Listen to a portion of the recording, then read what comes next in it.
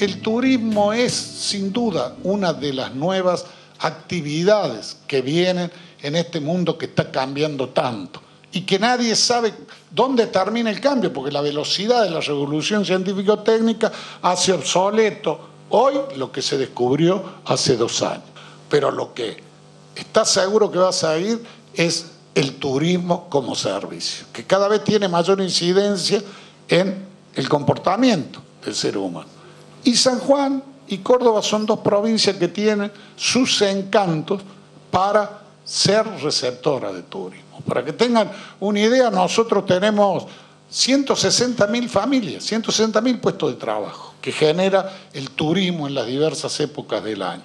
Es una economía regional central y yo estoy seguro que San Juan, junto a todas las economías regionales que tiene, el turismo va camino de la mano de Sergio a convertirse en una economía regional importante por el potencial que tiene San Juan y por la actitud amigable que tienen los habitantes de San Juan.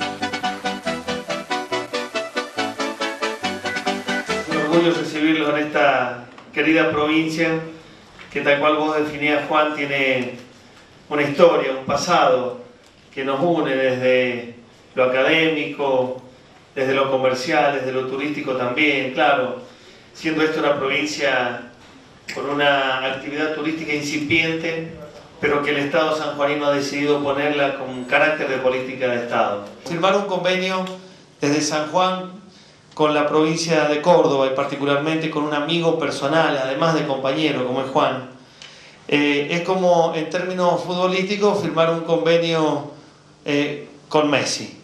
Así es que Juan, muchísimas gracias en serio. Lo que ustedes han hecho por el turismo, lo que han vendido a la provincia, ha sido realmente inmejorable y nosotros también queremos seguir ese camino.